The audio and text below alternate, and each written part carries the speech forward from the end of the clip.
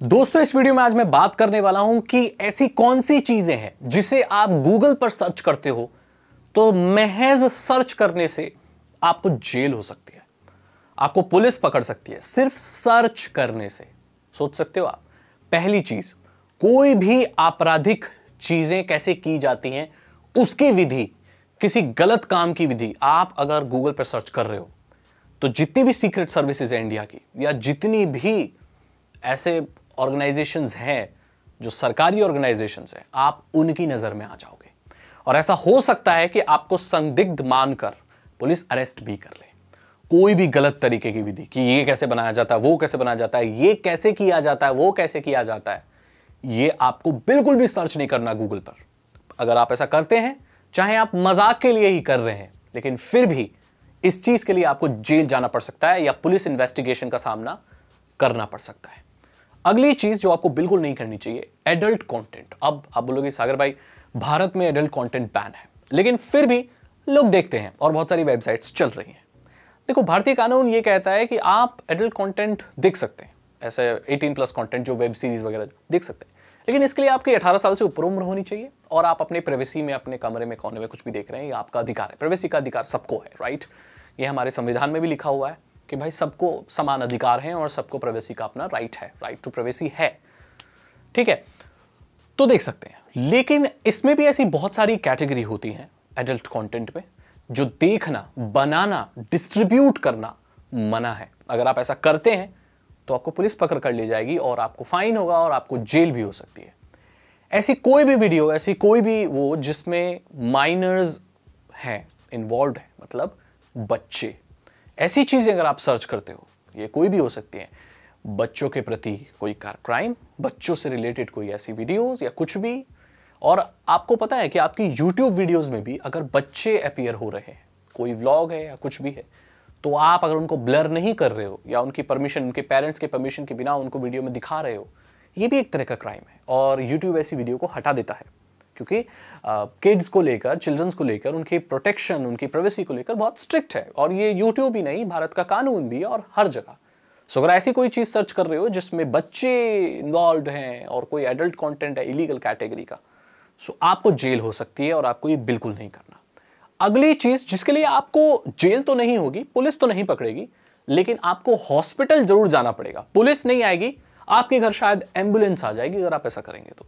अगर आप अपना इलाज गूगल पे सर्च करके करते हैं, आपको कोई दाना हो गया है या कुछ भी हो गया है, पैर में दर्द हो गया है, बुखार नहीं उतर रहा है, सर में दर्द है या कोई भी दिक्कत है शारीरिक तौर पर, और उसका निदान आप गूगल पे सर्च कर रहे हैं सो शायद आप गलत कर रहे हैं।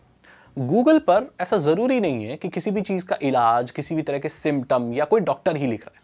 यहाँ पर एक दसवीं फेल ब्लॉगर भी ऐसा कर सकता है। कोई ऐसा ब्लॉगर जो पढ़ा लिखा नहीं है, जिसे मेडिकल की कोई जानकारी नहीं है। वो भी लिख सकता है। और आजकल तो ये हिंदी न्यूज़ की जितनी भी वेबसाइट्स हैं ना, वो सब डॉक्टर बनी हुई है कि आपके सर में दर्द है तो ये करें, ये दर्द है तो वो करें। पहली बात तो अपने आप से कोई भी एलोपैथी की या कोई भी दवाई नहीं लेनी, डॉक्टर की सलाह से लेनी है।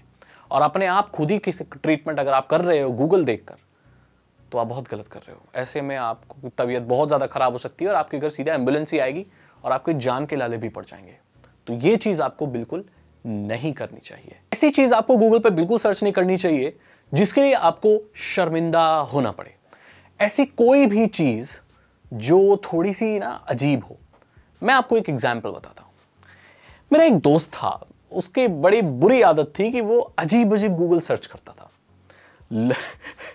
अजीब अजीब यू नो दवाइयाँ, वो सब सर्च करता था वो अजीब अजीब तरह की। और अजीब अजीब तरह के। और उसकी एक आदत थी कि वो ऑनलाइन अंडरवेयर खरीदता था। इसमें कोई बहुत बुरी बात नहीं है। अच्छी बात है। अच्छे वो मिलते हैं, ऑफ़र मिलते हैं। एक के साथ एक फ्री मिलता है।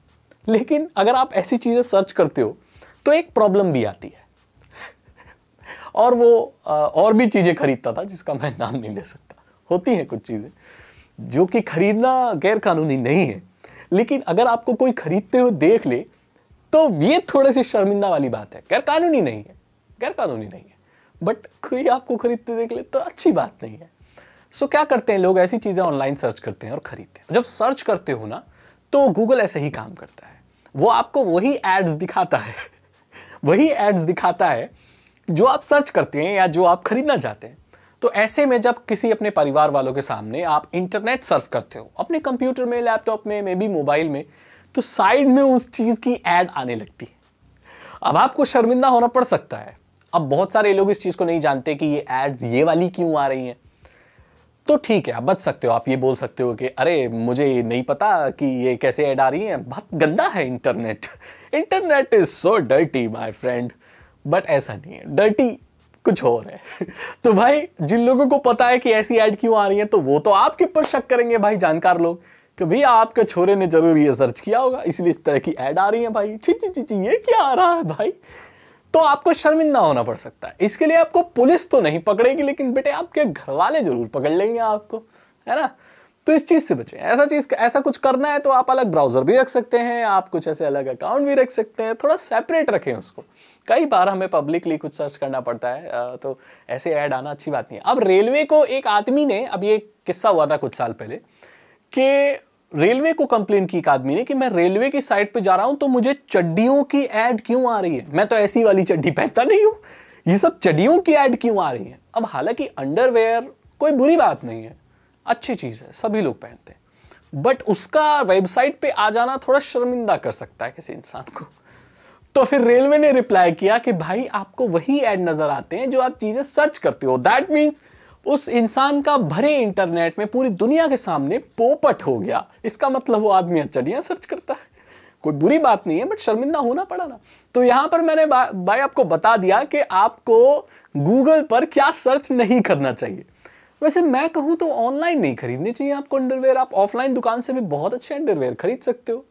मैं कोई स्टाइल एक्सपर्ट नहीं हूँ, लेकिन आपकी भलाई के लिए बता रहा हूँ इंटरनेट पर ऐसी चीज़ें हो जाती हैं। अगर आपको ये वीडियो अच्छी लगी तो उसे लाइक करें, अपने दोस्तों के साथ शेयर करें और कमेंट सेक्शन में मुझे बताएँ, क्या आपको कोई ऐसी चीज़ पता है जो गूगल पर सर्च नहीं करनी चाहिए? तो मुझे ज़रूर बताइए, लोगों को भी पता चले और कारण भी बताना कि क्यों नहीं करनी चाहिए, ठीक है? अगर आपको वीडियो अच्छी लगी तो इसे लाइक करें, अपने दोस्तों के साथ शेयर करें। साइबर सिक्योरिटी और इथिकल हैकिंग में इंटरेस्ट है तो डिस्क्रिप्शन चेक करें। टू नाइनटी नाइन रुपीज़ के तीन इथिकल हैकिंग कोर्सेज हैं, आसान भाषा में आपको इथिकल हैकिंग सिखा सिखाएँगे लिमिटेड टाइम के लिए अभी हैं ये, फिर बाद में मैं हटा लूँगा तो अभी ले लो इथिकल हैकिंग के कोर्स सीख जाओगे। चैनल को सब्सक्राइब करो, ये बिल्कुल फ्री है, बेल आइकन को प्रेस करो। मैं मिलता हूँ आपसे अगली वीडियो में। Thank you so much and goodbye